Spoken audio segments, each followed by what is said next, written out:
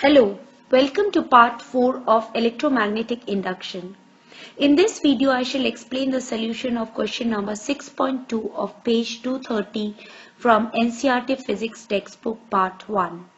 So it would be better if you have the book with the question in front of you. Please note the page number once again. The question is on page 230. The part A of question 2 says that using Lenz's law we need to find the direction of current in the coil once the coil is stretched from the irregular shape to form a circle. So as we have noticed the magnetic field in which the coil is kept is given by crosses. This means that the, there is flux into the page or the magnetic field lines enter into the page. So as we all know that the magnetic lines of force move from north to south.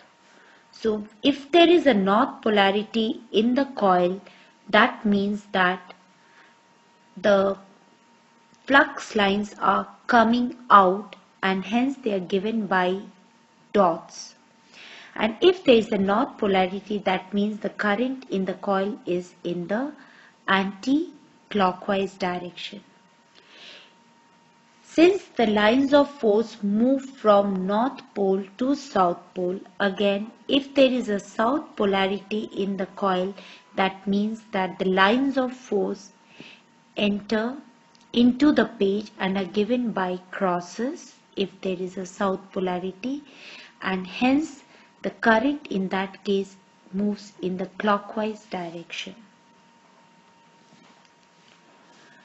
Now coming back to the question, in this question the irregular shape of the coil ABCD is stretched to form a circular loop ABCD.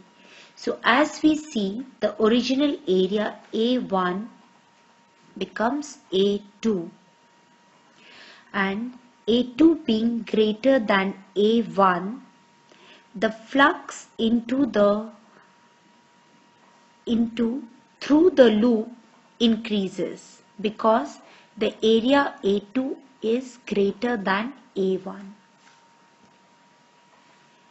Now since flux into is increased to counter this there has to be flux out through the coil. A flux out as we noticed as we had seen earlier the flux out can be induced if there is a north polarity in the coil. Hence because there is a north polarity the current in the coil will move in the anti-clockwise direction that is from ADCD. Now coming to part B of the same question. In this question again using Lenz's law we need to find the direction of current in the wire if the circular loop ABCD is drawn into a narrow straight wire A dash B dash C dash D dash. So the new shape is A dash, B dash, C dash, D dash. And we have noticed that the circular loop was placed in a magnetic field shown by dots. This means that the field lines are coming out of the page.